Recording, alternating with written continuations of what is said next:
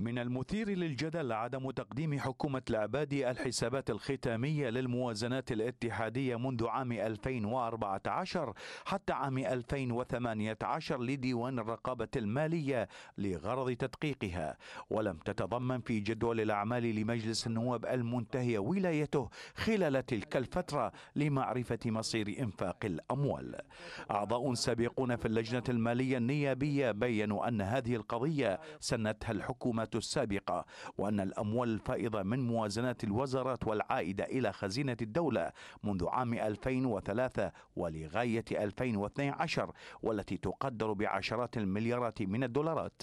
لا يعرف مصيرها. السنة السيئة اللي سنتها الحكومات السابقة تجاوزت على الدستور وتجاوزت على القانون من خلال عدم تقديم حسابات ختامية على مدار السنوات السابقة من عام 2003 إلى عام 2012 ما تم إعادته إلى الخزينة بيقدر ب 125 مليار دولار.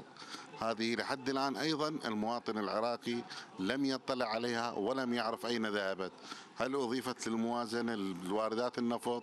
الدراجي أضاف أن هناك فئة معينة مطلعة على مصير الفائض المالي المترتب على الفرق السعري بين برميل النفط المدرج في الموازنة وسعره الحقيقي وتتصرف حسب مصالحها الحزبية. موضوع الفرق بالسعر الوارد واردات النفط هذا أيضا غير واضح لدى المواطن العراقي لكنه هنالك فئة معينة مطلعة على هذا الأمر وهي التي تتصرف على ضوء مصالحها الخاصة ومصالحها الحزبية. هذه المعلومات المبهمة لدى المواطن كانت نتيجة مخالفة مجلس النواب للمادة 143 من نظامه الداخلي حول كشف الحسابات الختامية ما يعني وحسب معطيات أعدها المرصد النيابي العراقي وجود تواطؤ بين المنظومتين التشريعية والتنفيذية.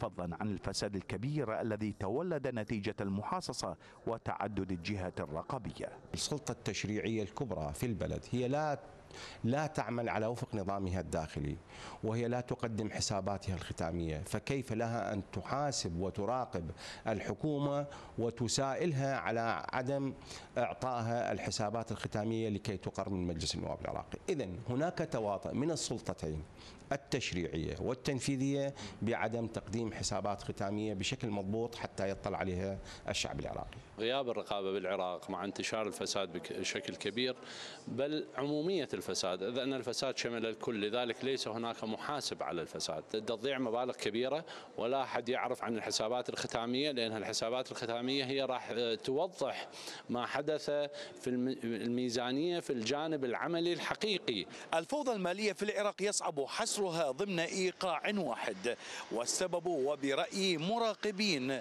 أيادي الفساد المتنفذة العابثة في مؤسسات الدولة. زياد نهاد الحرة بغداد.